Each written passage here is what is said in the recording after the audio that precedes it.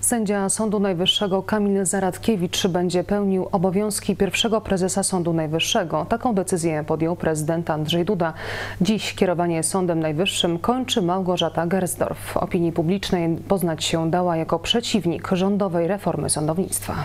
Profesor Małgorzata Gersdorf, pierwszym prezesem Sądu Najwyższego, została w kwietniu 2014 roku z nadania prezydenta Bronisława Komorowskiego. Dziś kończy swoje urzędowanie. Sześcioletnią kadencję podsumowała w liście pożegnalnym. Opuszczam urząd pierwszego prezesa Sądu Najwyższego w przekonaniu, że uczyniłam wszystko, co było w mojej mocy, by postępować zgodnie ze złożonym ślubowaniem. Pierwsza prezes Sądu Najwyższego stała się symbolem protestów przeciw wprowadzanym od końca 2015 roku reformom w wymiarze sprawiedliwości. W lipcu 2017 roku uczestniczyła m.in. w manifestacji przed Sądem Najwyższym. No poszłam podziękować, a że dostałam od y, wszystkich organizatorów, to od organizatorów tę świeczkę. Było ciemno, no to wzięłam tą świeczkę. Ale to nie jest tak, że ja chodziłam i demonstrowałam z tymi świecami. Prezes Gersdorf podważa mandat sędziów wskazanych przez obecną KRS. To niesłuszna krytyka, mówi rzecznik Krajowej Rady Sądownictwa Maciej Mitera. To są sędziowie, przypomnę, zostali powołani przez głowę państwa. Nie widzę tutaj żadnych uzasadnionych y, argumentów, które by różnicowały status tych osób.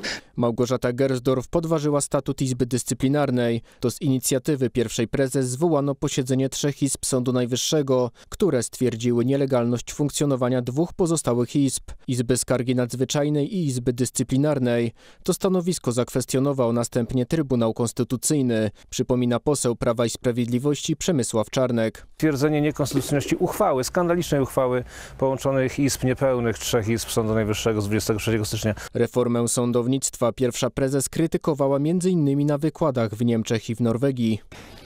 Te szkody wyrządzone wymiarowi sprawiedliwości są już poważne. Małgorzata Gersdorf kończy kadencję, ale nie żegna się z Sądem Najwyższym, podkreśla rzecznik Sądu Najwyższego Michał Laskowski. Być może Gersdorf będzie służyć radą. Jutro kończy e, swoją kadencję i przechodzi jednocześnie w stan spoczynku.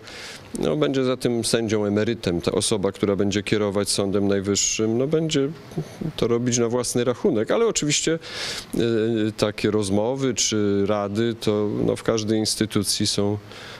pożądane. Ze stanowiska rzecznika Sądu Najwyższego odchodzi na własną prośbę sędzia Michał Laskowski.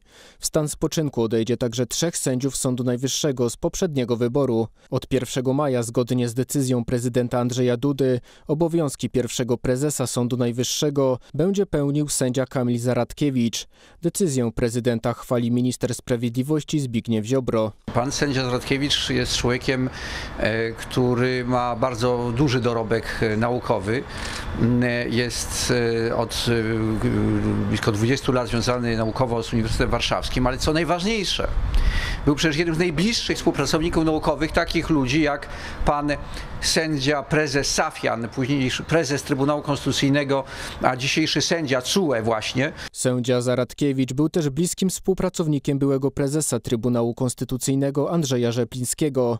Z Trybunału odszedł po krytyce działania kierownictwa tej instytucji. Później Zaradkiewicz pracował w Ministerstwie Sprawiedliwości. Był też ekspertem komisji weryfikacyjnej. W październiku 2018 roku został mianowany na sędziego Izby Dyscyplinarnej Sądu Najwyższego. Decyzję prezydenta o powierzeniu obowiązków pierwszego prezesa Kamilowi Zaradkiewiczowi krytykują opozycyjni kandydaci na urząd głowy państwa. Dzisiaj zobaczyliśmy kolejnego nominata partyjnego w roli najwyższej, najwyższego sędzi w naszym kraju. Prezydent Andrzej Duda poinformował już, y, że y, powołał y, no, w dość powiedziałbym autorytarny sposób na komisarza, na zarządcę, na tymczasowego pełniącego obowiązki pierwszego prezesa Sądu Najwyższego sędziego Kamila Zaradkiewicza.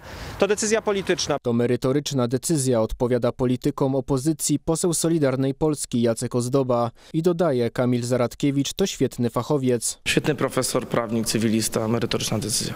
Kamil Zaradkiewicz pracami Sądu Najwyższego będzie kierował do czasu powołania przez prezydenta pierwszego prezesa Sądu Najwyższego, mówi adwokat Iwona Tworzydło-Woźniak.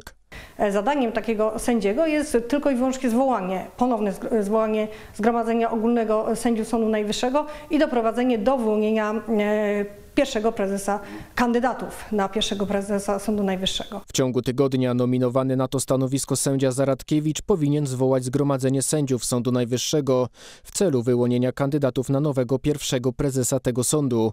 Z tego grona prezydent wybierze jedną osobę do kierowania sądem przez najbliższe sześć lat.